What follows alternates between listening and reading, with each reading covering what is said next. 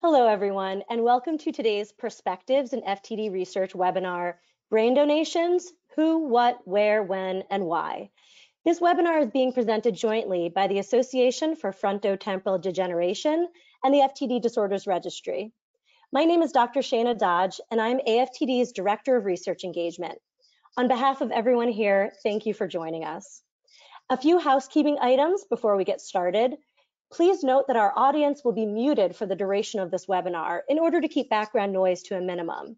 If you have any technical issues, please write a message in the questions box and we will try to address them. Time permitting, we will have a brief Q&A at the end of the presentation.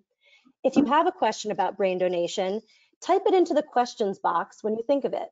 You don't have to wait until the end of the presentation to submit your question. We have a lot planned for this webinar, however, so if we don't have time to answer questions, you can always reach out to AFTD's helpline at 866-507-7222 or info at theaftd.org. Note that this webinar will be recorded and, and, archived for later viewing on both AFTD's YouTube page and the FTD Dis Disorder Registry's YouTube page. This Perspectives in Research webinar is made possible through the support of Alector. Thank you to the folks at Alector for their generous sponsorship of our work. Next, I'd like to highlight the FTD Disorders Registry. The registry is a powerful tool in the movement to discover treatments and a cure for FTD. It relies on the stories of people like you, persons diagnosed with FTD, current and former caregivers, family members, and friends. Your stories and experiences will help to spur innovation that will lead to effective treatments and therapies. If FTD has touched your life in some way, I strongly encourage you to join the thousands of people who have already signed up for the registry. Registration allows you to receive periodic news and FTD research updates by email, as well as notifications to participate in surveys and research studies to help further the science of FTD. The next AFTD Education Conference will be held May 5th in downtown St. Louis. This annual event brings together persons affected by FTD, experts in the field, and healthcare, professional, healthcare professionals for a full day of learning and connection. For those who can't make it to St. Louis, it will be available online with our free live stream. For those of you planning to attend or considering attending in person, we will have additional sessions only available in St. Louis including a networking opportunity for people diagnosed with FTD, a mindfulness session for FTD care partners, and a pre-meeting session for people with genetic FTD. You can visit AFTD's website for more information about these pre-meeting in-person sessions and the rest of the conference program. And also keep an eye on your email inboxes for more information. This year's keynote speaker will be Dr. Bruce Miller from UCSF. Visit AFTD's website today to learn more about the program and to register for the in-person event or the live stream. I would now like to introduce our two main presenters today. David Irwin, MD, is the principal investigator of the Penn Digital Neuropathology Lab and an attending cognitive neurologist in the Penn Frontotemporal Degeneration Center. His research focuses on integrating histopathology and imaging methods in the human brain to develop and validate biomarkers based on gold standard histopathology, with the overall goal of improving diagnosis to facilitate clinical trials for emerging therapies for FTD and associated neurodegener neurodegenerative disorders. Lauren Massimo, PhD, CRNP, is an assistant professor at the University of Pennsylvania in the School of Nursing and the School of Medicine Frontotemporal Degeneration Center. Dr. Massimo's research program focuses on identifying the cognitive and neural basis for symptoms of neurodegenerative disease. Dr. Massimo will be speaking with Sandy Karger, who is the caregiver for her husband, Bob. Bob had FTD for 14 years and died in 2021. Shortly after his diagnosis, Bob and Sandy decided to donate his brain for research after his death. We will also be joined by representatives from All FTD, the Brain Donor Project, and the Brain Support Network for further insights on the brain donation process. And now I will turn things over to Dr. Irwin. Thank you, Shana, and thank you to the AFTD and the organizers, and thank you to everyone today for joining me this afternoon. Um, we'll start the webinar with a brief presentation on brain donations, who, what, where, when, and why. Uh, next slide, please. Uh, these are my disclosures, and uh, next slide, please. We'll go over the outline of the talk. So uh, the first thing we'll be talking about is uh, the factors that go into making the decision about brain autopsy, and we'll be focusing first on the clinical benefit as well as uh, benefit to patients and families in terms of understanding the, the, ultimate diagnosis of the disorder. Uh, and then in the second part of the talk, we'll be talking more about the research aspect of brain donation and how incredibly powerful um, brain donation, the impact that it makes towards uh, getting better diagnostics and ultimately treatments for FTD and related disorders. And then uh, finally, at the end, uh, some more logistical uh, topics about what to expect going through the process to enroll in a brain donation program and uh, what are the uh, the outcomes of, of that. next slide, please. So first, I think it's helpful to start with some definitions uh, that can be confusing, uh, particularly the difference between brain autopsy and brain donation. And these two terms aren't completely mutually exclusive. So brain autopsy is a clinical uh, procedure, meaning it's uh, done for clinical care. Uh, it's a neuropathological examination of the brain that obtains a final diagnosis of the biological cause of dementia. Um, this can be done through most healthcare centers uh, at a hospital that a patient has been treated by. Brain donation is slightly different. Um, brain donation is done uh, for research, and that is a crucial contribution to accelerate diagnostics and treatments. The diagnosis itself of what the neuropathology is that causes a patient's symptoms can be extremely valuable for research, as well as study of the tissue. And um, in most brain donation programs, there is a clinical report of what the neuropathologist uh, finds as a diagnosis and that's shared with the family. So one could participate in a research brain donation and get the clinical benefit of the neuropathological report from the pathologist uh, um, as well. Uh, next slide, please. So as a, a neurologist, uh, clinician who sees patients with uh, frontotemporal degeneration, I've been trained uh, to take a careful history and a detailed elemental exam of the neurologic exam, checking reflexes and strength, and also cognitive exam. And what you see here are different uh, aspects of cognition and motor functioning that we can objectively measure in clinic. And these tell us about relative areas of the brain that may be having difficulty, and these contribute to networks that uh, connect these different parts of the brain. Uh, next slide, please. And when we see certain uh, constellation of symptoms, we put them together into diagnoses. And you can see here in different colors the main clinical diagnoses that relate to frontotemporal degeneration. The behavioral variant in green that relates to frontal and temporal regions involved with executive function and behavior. Um, primary progressive aphasia variants, the non-fluent variant in red, the semantic variant in brown, which relate to frontal and temporal disease more in the left hemisphere, respectively. Um, cortical basal syndrome, which is often lateralized to one hemisphere and involves frontal and parietal regions as well as brainstem regions in, in orange. Progressive supranuclear palsy syndrome that can involve frontal regions, and especially in the motor areas, and subcortical regions as well in yellow. And finally, ALS, which we think of as a primary motor neuron disease, uh, but can also uh, contribute to these other cognitive syndromes. Uh, next slide, please. Um, but what is striking is that the clinical diagnosis doesn't always tell us what is the cause of the disease. So um, you could see again the main syndromes that we talked about on bottom and they're um, listed here. And if we advance one slide, please, uh, we could see the, the perspective of the neuropathologist who uh, looks at this uh, slides of the brain under the microscope. And what you see is in each of those syndromes, the boxes are color coded by the relative frequencies of different pathologies we see under the microscope. And if we can advance one slide, please, you could see an example of this.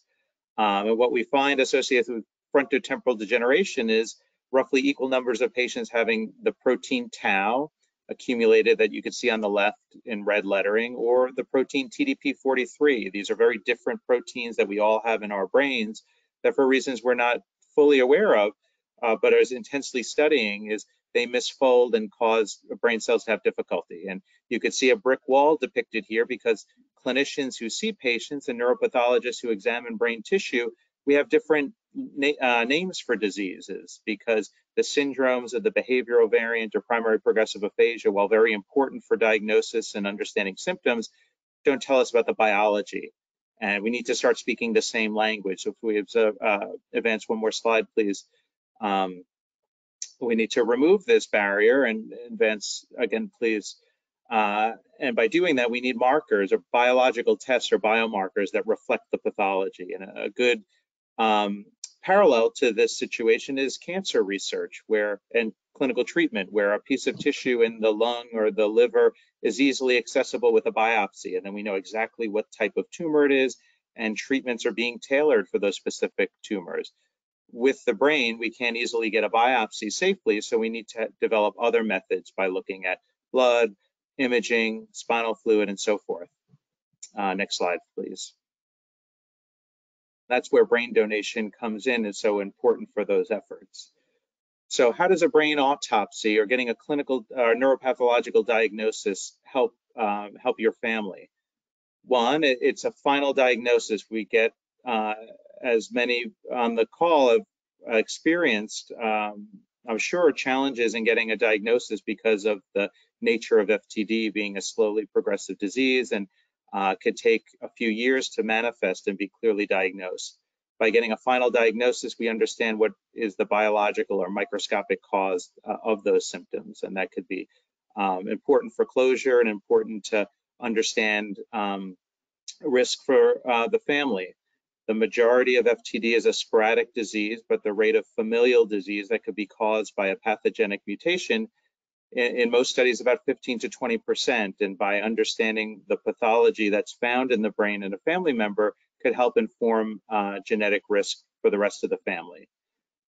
It's important to note that genetic information itself is usually not included in a pathology report. That would require separate evaluation um, during life uh, with a genetics counselor, and that's a very important aspect of uh, clinical care. Uh, next slide, please. so um, now moving on to the research aspect of brain donation. Um, next slide, please. Um, this is uh, very important for us to advance the science. So um, neuropathological diagnosis informs the clinical data collected during life. So when we do uh, research studies to study FTD, um, having a pathology diagnosis enhances all the data that's collected during life. Um, that helps us link measures of cognition, MRI measurements, blood, spinal fluid, uh, many things that patients who enroll in all FTD and, and other research studies um, helps us understand the link with these specific pathologies that cause FTD. And not only just the diagnosis, but the tissue itself is so critical to develop new diagnostics and treatments. Scientists who study mechanisms of how neurons survive and what uh, causes these protein accumulations to cause the disease, having access to tissue is critical to identify and develop new treatments that can stop that process. So it's an incredibly meaningful uh, contribution to science. Next slide, please. And to illustrate this uh, is a process that we do at the Penn Frontotemporal Degeneration Center, where we do uh, both clinical trials and also observational research. And what's illustrated here is that we do longitudinal natural history studies where we systematically collect data. Uh, we try to share with patients as much as we can and what we learn about the biology with the studies that we have during life. And for those interested in brain donation, that gives us that critical information of what the pathological cause of the symptoms were. And um, uh, in the lab, we're able to then measure that pathology and relate it back to the data we collected. So we're refining our clinical diagnoses and we're developing new tools to improve our diagnosis in a living patient. Uh, and uh, illustrating the power of brain donation to accelerate discoveries. Next slide, please. Another way to illustrate this is for an example that you see two MRIs obtained during life in patients that have disease in the temporal lobe in the red box. And it, uh, patients clinically had the same syndrome of behavioral variant FTD. They had atrophy on MRI that helps with the diagnosis of behavioral variant FTD. But then when you can see in the bigger box, these are uh, post-mortem MRIs at ultra high resolution where we get microscopic resolution and you can see very different patterns. So if we can improve our MRI scans, for example, and be able to look at a cellular level in a living patient, we might be able to tell what these two patients had very different pathologies. We'd be able to tell them apart during life. The patient on the left had Pick's disease with a very different pattern than we see with TDP43 on the right. And those patients could go to different clinical trials that would be targeting the different mechanisms involved in those very different pathological diseases. So this is an example of the work that we do at Penn that is uh, couldn't be done without um, the extremely meaningful uh, donation of, of, brain donation at our center. Uh, next slide, please. So what to expect in some logistical uh, topics. Uh, we can advance next slide, please. Um, enrolling brain donation, it's important to um, ask your clinical team about autopsy. So in terms of obtaining a clinical neuropathological report for a final diagnosis. Most uh, academic centers have autopsy programs where patients who are uh, treated clinically have access to autopsy. Um, and if you'd like to participate in brain donation, uh, enrolling in a clinical research program is one way to do that. And uh, we'll be hearing later about all FTD, a wonderful uh, large scale program that helps facilitate brain donation for science uh, to advance FTD care. Um, there's also nonprofit brain donation programs that we'll hear from later today, including the Brain Donor Project that's linked to the NIH, as well as the Brain Support Network uh, that has links to all FTD. Um, brain donation can be a sensitive issue and it can involve a discussion of the whole family, uh, including the patient. So having discussions early in the disease process are important, not only to make sure that everyone is comfortable with the decision, but also to help coordinate the logistics well in advance. Next slide, please. Um, some other logistical aspects of what to expect. Um, the consenting process for autopsy in most states is from the next of kin obtained after the time of expiration of the patient. So uh, most programs have some information packets and some preliminary uh, indicating interest in autopsy, but these aren't binding. It's the uh, the final consent is only obtained from the next of kin after the patient expires. Um, most brain donation programs have contact information that, um, again, so by planning early, you can have this information handy for uh, near the time of death or at the time of death to call to help coordinate. Uh, most research programs cover the transportation um, to and from the academic center and to funeral homes. And most brain donation programs are, are done in methods that are compatible with most funeral practices without cosmetic uh, um, issues. Um, neuropathologist report, a final written report is um, generated that can take a few months to to obtain because um, the processing of the tissue and the careful review from a neuropathologist to formulate a final diagnosis can uh, can take a few months. So it's important to stay in touch with the center, and that those are usually re uh, directly released to the next of kin and um, are reviewed by the treating clinician or a neurologist or other healthcare professional that saw the patient during life. Um, most research programs for brain donation offer different updates on uh, what's learned from brain donation. So at Penn, we have patient and family conferences that we held twice a year to help share what we're learning from all the work that patients and families do to do uh, research with us. Next slide. So I want to end now to highlight some resources that we'll make available from uh, the Penn Frontotemporal Degeneration Center and access to some of our previous patient outreach events, uh, the videos and useful materials, as well as highlight uh, resources from the other speakers you'll hear from this afternoon, including the All FTD Research Network, the AFTD, Brain Donation Project, and Brain Support Network.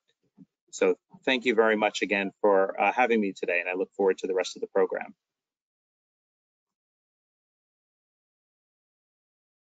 Thank you, Dr. Irwin. Now we will hear from Dr. Leah Forsberg. Dr. Forsberg is an assistant professor of neurology at Mayo Clinic in Rochester, Minnesota, and serves as one of the program managers for the All-FTD study. Dr. Forsberg, welcome. Thank you so much. And I just got the invite to share my screen. So just get, bear with me. Um, hopefully you can see my slides. I'm going to go with yes. okay, thank you so much, Shannon. For, uh, thank you for being here. I'm um, one of the program managers for All FTD, as she as she mentioned. If you're new to the FTD research space, All FTD stands for ARTFL LEFFTDS Longitudinal Frontotemporal Lobar Degeneration, All FTD research study. Since it's an, a mouthful, we just use All FTD typically. Um, All FTD is an observational research study which began in fall 2019 we are jointly funded by the NIA and NINDS. The All-FTD study is actually a formal merging of two previous FTD research programs. Um, sorry, just switched my screen. Um, two FTD research programs, the ARTFL study and the LEFFTDS study. You can read what those acronyms stand for there. Um, the All-FTD study as an observational study does not involve a therapy and instead, you know, we follow individuals who are participating on an annual basis collect a lot of um, tests and procedures so we can better understand how um, FTD progresses and hopefully learn a little more about FTD onset. As such, you know, we aim to do those things by evaluating sporadic and familial FTLD participants. In addition, we also um, evaluate asymptomatic family members of our FTLD participants. And um, we characterize those two groups uh, longitudinally, as I mentioned, and our hope is really that what we're learning uh, will inform clinical trial design. We have 26 sites across the United States. You can go to our website to learn more, especially um, specific contacts for each of those sites. And we are hoping um, to uh, add one more site uh, to the New York City area, so stay tuned. What's involved in an all FTD visit? So um, Dr. Irwin, you know, mentioned biomarkers. It's a really hot topic. It's really important, and we collect a large variety in all FTD. And as such, our visits are kind of long. They're about two to three days in length usually, and they happen annually. So we um, each visit has a clinical exam with a neurologist. There's neuropsychological testing, which is a those memory and thinking tests, questionnaires with a study team member, a blood draw, an MRI, um, if you're interested, we, uh, we allow or encourage people to do a lumbar puncture. We also offer clinical genetic counseling and testing for those that want to learn more about their genetics. Um, and then of course, brain donation, why we are all here today. We also, you know, if you have, if you know someone participating in all FTD, you may be aware that we also have another visit, which is a lot shorter. It's usually a day or less. It only happens once um, and it focuses on collecting biospecimens, so specifically blood and cerebral spinal fluid. The majority of our participants, probably over 90%, are um, involved and enrolled in the in the bigger annual study, which um, is mentioned above. So brain donation. Brain donation obviously is a very key component of um, understanding FTD and therefore all FTD. And so we offer it for those who are interested. Um, and as Dr. Irwin mentioned, it's really kind of the final piece of the puzzle. Uh, we've been collecting so much information on everybody that participates in all FTD, and we really get the final piece of the picture um, upon uh, somebody's passing and, and brain donate if brain donation is, is part of their plan. If you're interested or if those participants are interested, we encourage pre-planning as much as possible. And then uh, one of the benefits of being in all FTD and research is generally the costs associated with brain donation are covered. One important thing to note, if you remember our site slide, there's a lot of sites all over the country in very different types of environments. Most sites follow a very similar process as it relates to you know, brain donation and all of our procedures, but each site is a little different. So if you know someone at another site and they are sharing something about their experience and it's different than yours, don't be worried. It's probably um, just the way, the nature of, of the beast. What is brain donation pre-planning? Um, we really strongly encourage pre-planning whenever possible, and I'm sure you'll hear about this from additional speakers, but for us, pre-planning really helps take a time in your life or your family's lives that is very stressful and full of a lot of different processes and things you need to get done and hopefully eliminates one of those stresses, which is how do you coordinate a brain donation? So the first step that we always encourage is to discuss your wishes with your family, your loved ones, people involved in your care. Um, the next step would be to sign an advance directive. We encourage you to keep a copy of your records. This is just an official form that says you want to proceed with brain donation. Involved in this is mentioning the next of kin who will actually sign it again upon um, the person's passing. So really important to keep everybody in the loop, especially if you're using um, or working with individuals or agencies um, like care staff, residential care staff, or hospice. Your next step after signing your advance directive is to select a funeral home and make sure they're aware of your desire to donate your brain. You'll then connect your AllFTD team or a different research team if you're working with someone outside of AllFTD and the funeral home, and together they'll identify a pathologist and the three groups will work together to really coordinate donation logistics. What happens after brain donation? So as Dr. Irwin mentioned, um, you usually get some sort of clinical report that is consistent in AllFTD. You will receive an official autopsy report. This can sometimes take months, and I know that that is a really complicated and emotional process for families, and you know everybody's working their best to get it sooner, but it can take quite a bit of time. Um, and then in research, what makes it a little bit different is in addition to that official report, there's also a series of research related forms. Um, that is all taken care of on the back end by your all FTD team and the pathologist and those involved um, with the brain donation itself. Lastly, I'll just finish quickly and say um, this is a huge effort and takes a massive team. And, you know, most importantly, we're really grateful to our participants and family members because without them, we wouldn't be able to do what we do. So thanks so much.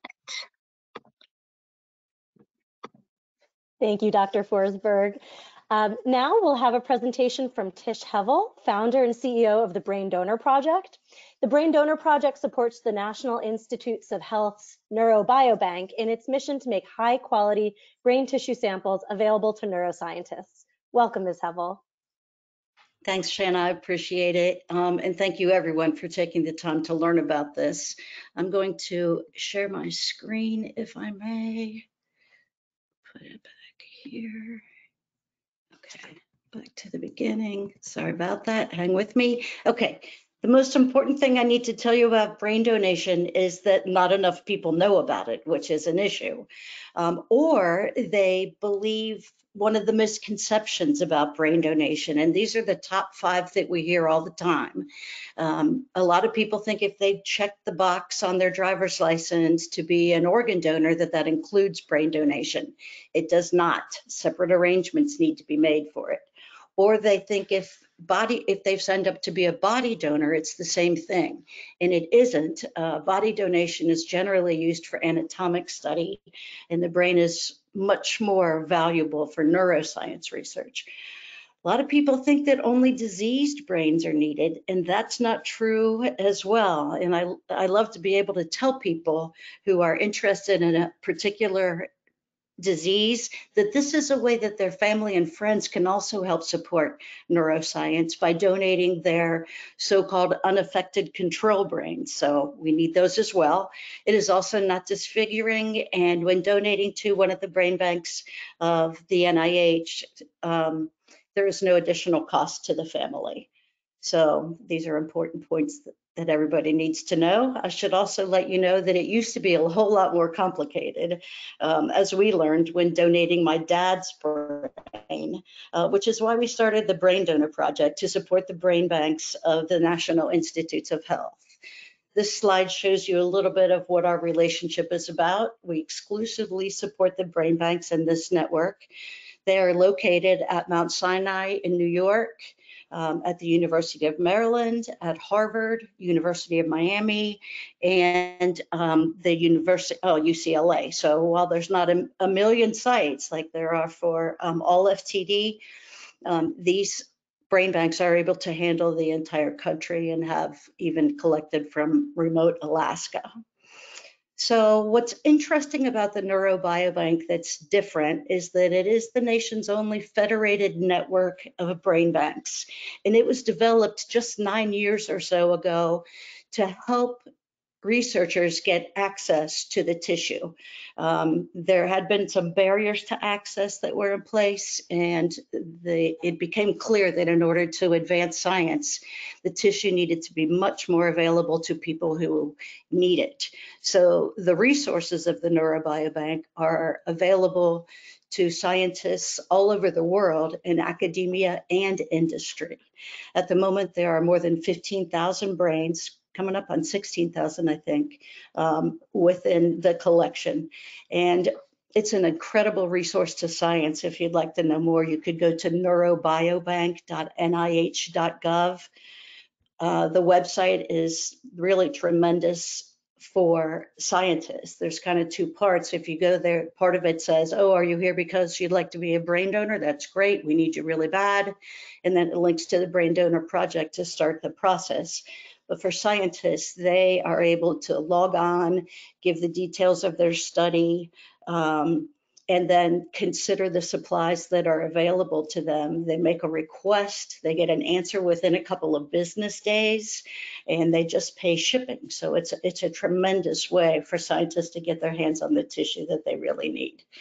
Um, so what we did to, to jump into the science of supporting science is we created a website to help everybody understand why this is so critically needed. And once people get there, get their questions answered, then it's pretty simple to pre-register. There's a button in the upper right-hand corner that says brain pre-registration. And from there, it's a pretty brief online form. Once you decide or if you're making plans for yourself or someone else, the rest of it is um, mainly contact information and then room for a diagnosis um, if there is one. And we take that information and we work to connect that person to the appropriate brain bank in the Neurobiobanks network. Um, so um, how do, and then we let people know that um, they've just done a really great thing. So we've already talked a little bit, thanks to Dr. Irwin and Dr. Forsberg, about how it works upon death. It's pretty much the same thing. Family member notifies, um, and then the brain bank makes the rest of the arrangements. They arrange to transport the body.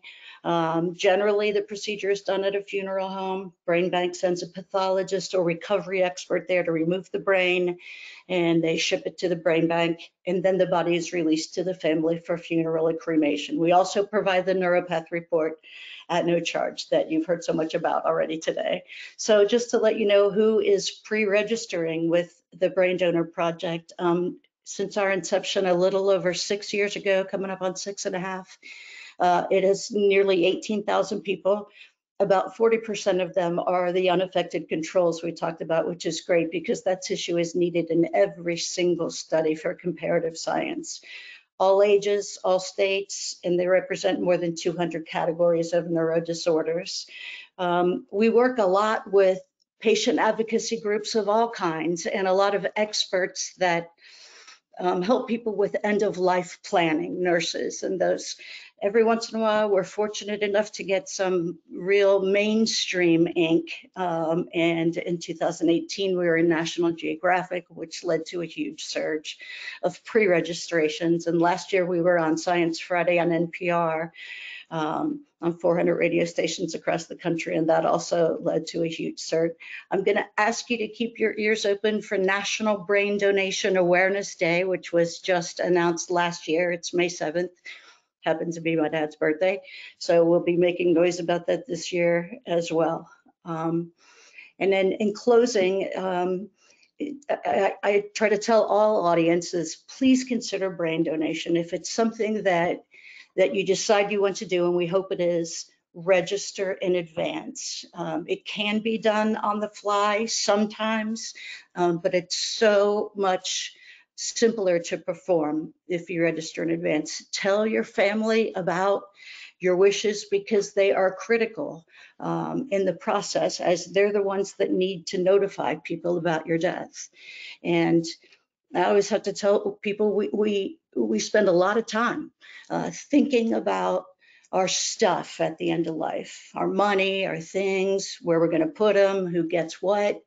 Um, but it, to a lot of people, this tissue is the most precious gift you could give. And if you consider donating it, um, it really has a big impact in um, the future of science. Thank you. Thank you, Ms. Hevel. Um, our next presenter is Robin Riddle.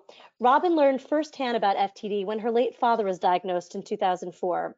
With the help of other caregivers, she founded the nonprofit Brain Support Network, which, which has been responsible for more than 1,400 brain donations in the last 20 years.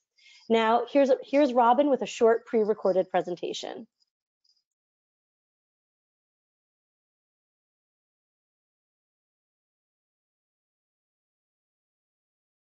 Thanks very much for the introduction. We've been partnering with the AFTD for almost two decades, and I previously spoke about brain donation at one of the national conferences.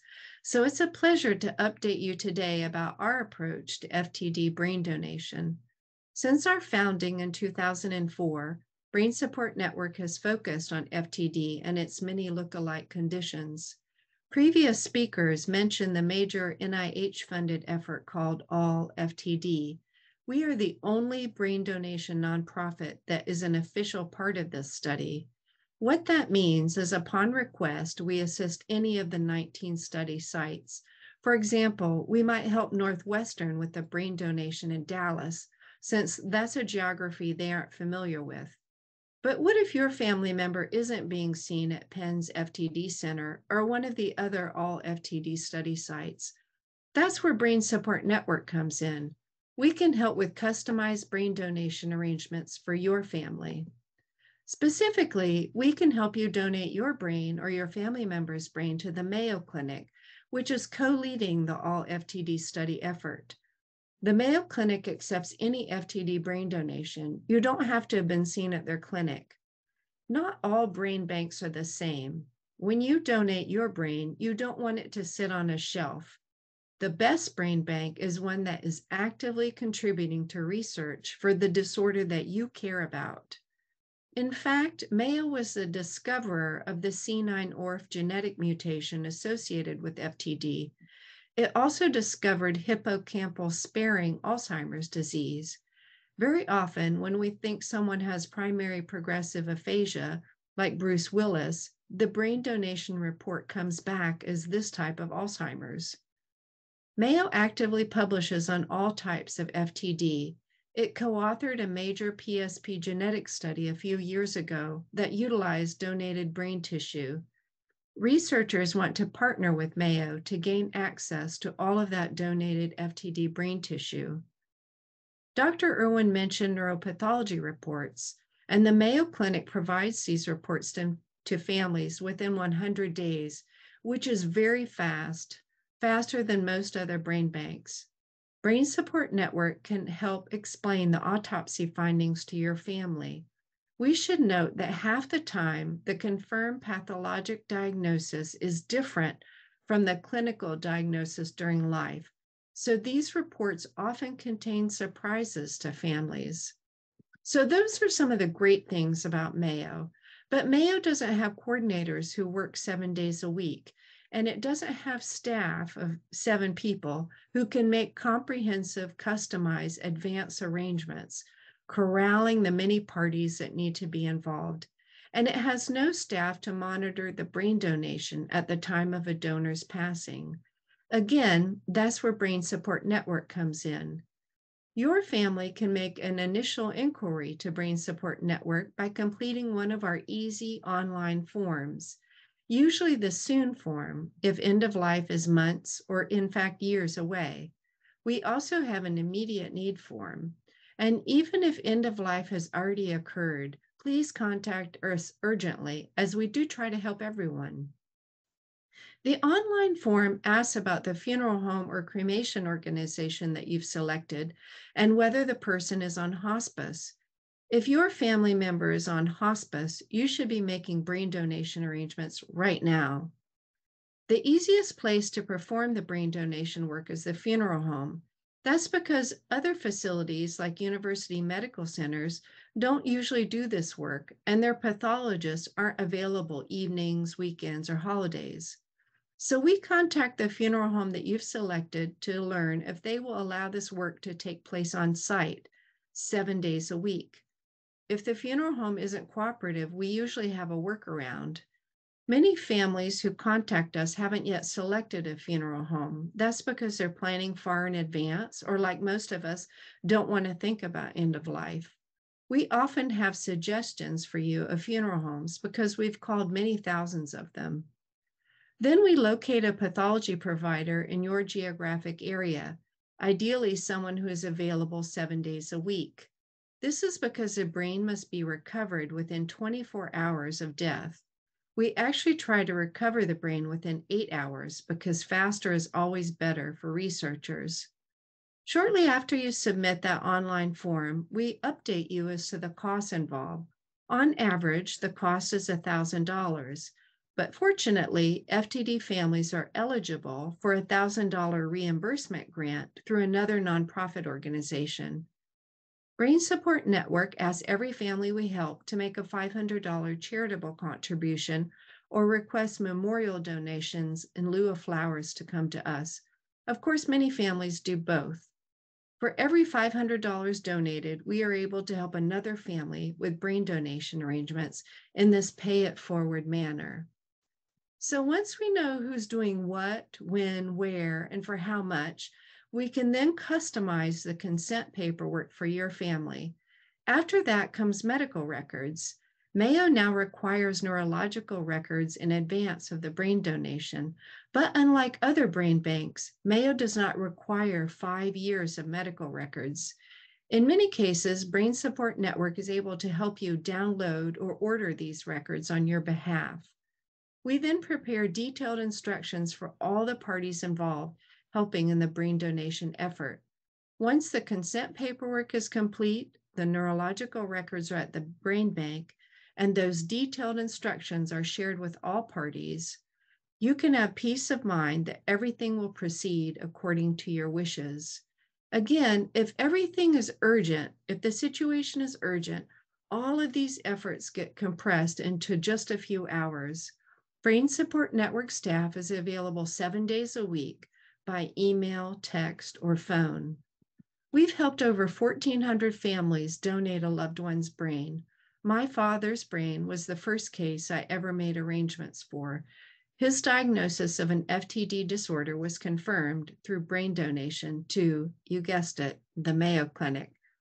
Brain donation isn't just for those with FTD.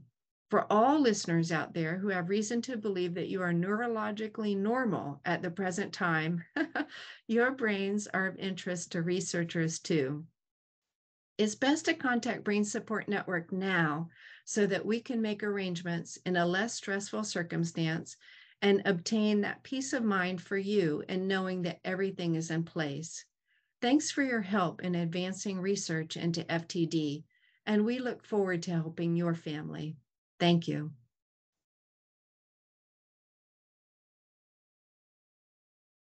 Thank you, Ms. Riddle. Um, next, I'd like to introduce Dr. Lauren Massimo of the University of Pennsylvania and former FTD caregiver, Sandy Karger.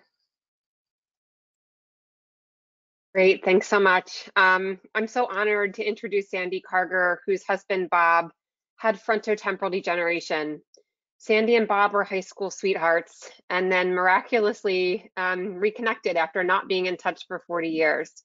They eventually got married, and then several years later, Bob developed frontotemporal degeneration. Sandy and Bob made the generous decision to participate in the brain donation program at the University of Pennsylvania Frontotemporal Degeneration Center. Sandy feels strongly about the importance of support and education for FTD caregivers and she is the co-facilitator of an FTD support group that meets in Wynnewood, PA. So Sandy has graciously agreed to share her experience of the brain donation process with us. So Sandy, can you um, first think back to when you began to consider brain donation and how was it initially discussed with you? Um, thanks, Lauren. Um, and it's a pleasure to be here, and be with all of you. Uh, we thought about it very early on, and I was trying to remember the other day. I would say probably on our third or fourth visit, um, the physician approached us with the opportunity to donate Bob's brain at the time of his death. And he was very clear about what it meant, about what the process would be. And it actually helped me, and I think both of us, to kind of step a little bit further into the reality of what was happening and what was going to be.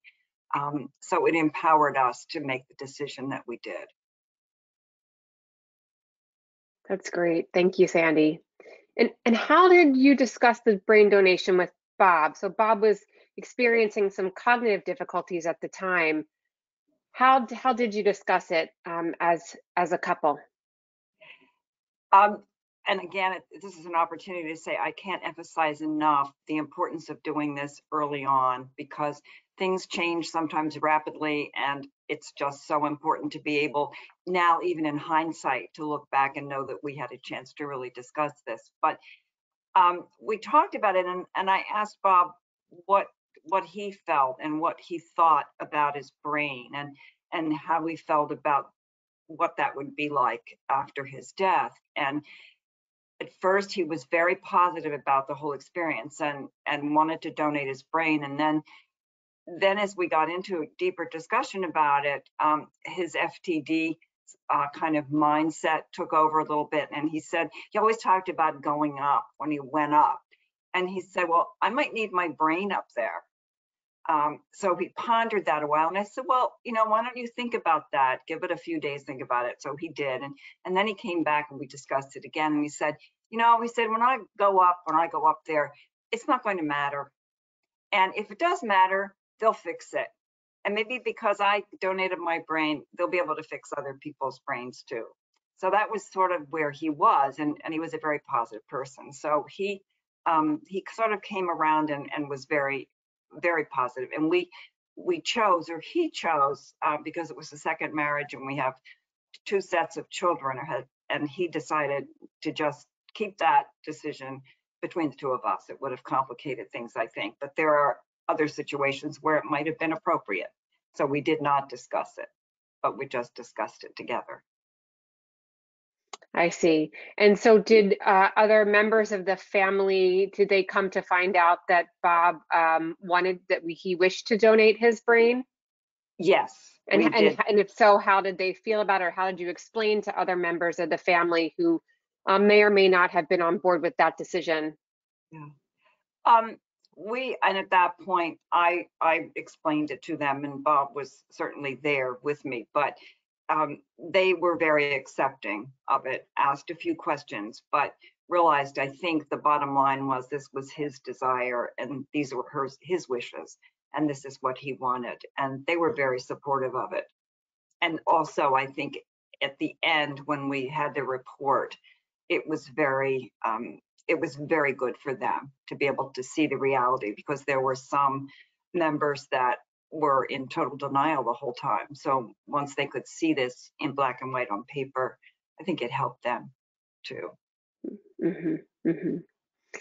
Can you talk a little bit about um, why the brain donation was important to you and Bob? You mentioned, you know, doing good for other people, um, and Bob was certainly um, a very generous person. Could you talk a little bit about other um, other things that you thought about that you know were really important, and per, you know um, perhaps maybe you thought this is something that we should do?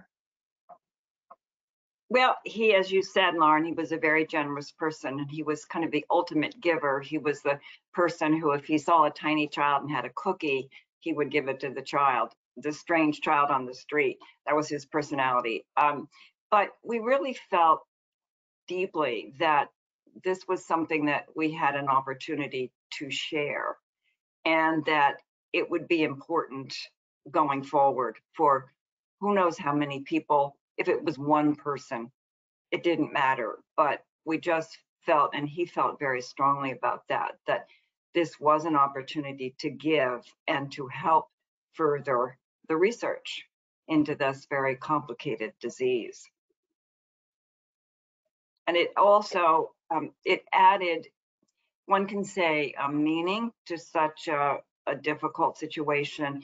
It certainly did give some purpose and some meaning to what he was going through. Sandy, what did you do um, in advance to prepare for the brain donation itself? For example, did you have paper? Some have mentioned that paperwork um, may need to be completed. Uh, did you have to alert other medical teams, such as hospice teams, the funeral director? Can you talk a little bit about the preparation in advance? Yes, and that that was also a very important piece of this, what I called process. Um, there was some paperwork, and the paperwork that we had to do was certainly not overwhelming. It was very straightforward, very simple, um, very easy to do. Did not take a lot of time.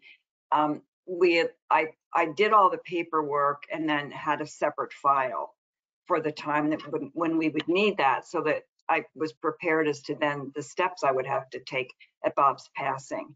And when he was placed in hospice, I notified the hospice people, I notified the staff of the facility where he was, and certainly the funeral director um, about what we had wished to have happen. And all of those people combined, and I have to say the funeral director played a very large part in that, in making this seamless everyone did. It was just a very seamless process and experience. And they just came, I had the paperwork, I had um, duplicate, the paper I duplicated so that I was ready to give it to those people at this particular time.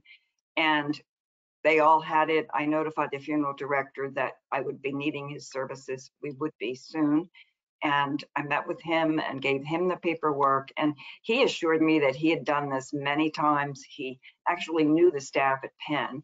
And it was just, as, it was again, seamless and easy uh, being prepared for this moment. Because when the moment comes, um, you want to be prepared because you're not necessarily going to be in the mindset to be able to handle that then.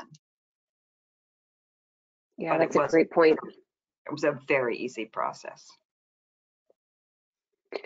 And once you received the uh, neuropathologic uh, report, how did you did you look at it and were you like, what what does this actually mean? Um, can you talk a little bit about after you had the neuropathologic report?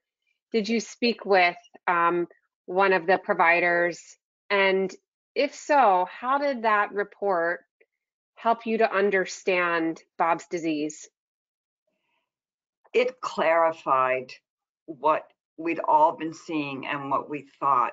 Um, it was extremely important to me. It was part of this journey, um, knowing for sure. You know, you can guess and you can think and and what if, what if this, what if that, and just seeing it um, was extremely um, freeing in a way. Um, speaking with the physician afterwards um, was just so helpful it was as if he had all the time in the world to speak to me, answer any questions. And as in preparation for this, I went back into my file and I reread it. And it's interesting that now, a year and a half later, I saw something even something different that I know I read then, but made more sense to me now at this particular time. Um, so that part of the process was also it was very meaningful. It, it added a great deal of meaning. And I, I know that Tish, I think it was Tish talked about it, this, and she used the word gift. And Bob and I really thought about this as a gift. Yeah, it's a donation, but it's different than the note, the, the donation that you make, say to the Red Cross or to some other organization. This is a gift, a part of someone that you've loved dearly for a period of time in your life. And being able to give this back and help the people that have so wonderfully and generously helped you through this process was very, very meaningful. And I know it was to Bob even before the fact. It was a way to um, say thank you. And it was also, in a funny way, um, it brought peace to me. I can't tell you how explain that um, in depth right now, but the it just was very, it was validating and it, it gave a lot of, a lot of peace and closure to the whole process. Thank you, Sandy. Um, thank you so much for your willingness to share your story with us today. Um, it's just, it's so impactful to hear uh, about the, your firsthand experience um, with the brain donation process. So thank you.